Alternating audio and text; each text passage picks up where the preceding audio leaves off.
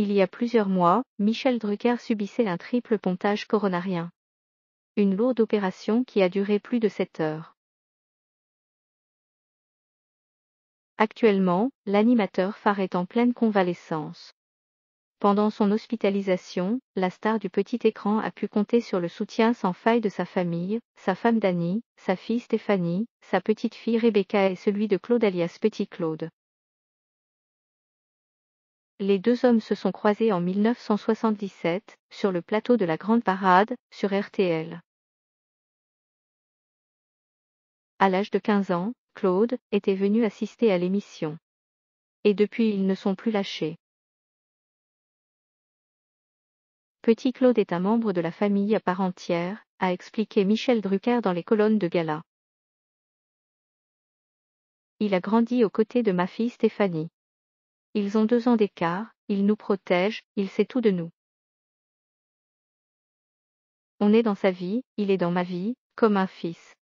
Il connaît mes manies, mes angoisses, mes tocs et tous mes médecins.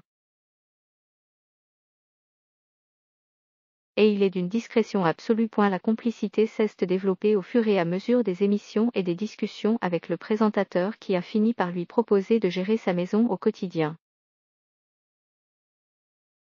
C'est lui que la famille a même désigné pour être la seule personne autorisée à venir tous les soirs, pendant une demi-heure, pour lui apporter petits plats et réconfort, ont poursuivi nos confrères. Interrogée également par le magazine, sa fille Stéphanie Gerdrucker a fait part des inquiétudes qu'elle a eues avant l'hospitalisation de son père adoptif. On ne comprenait pas. Il était toujours fatigué et un teint qui ne nous indiquait rien de bon.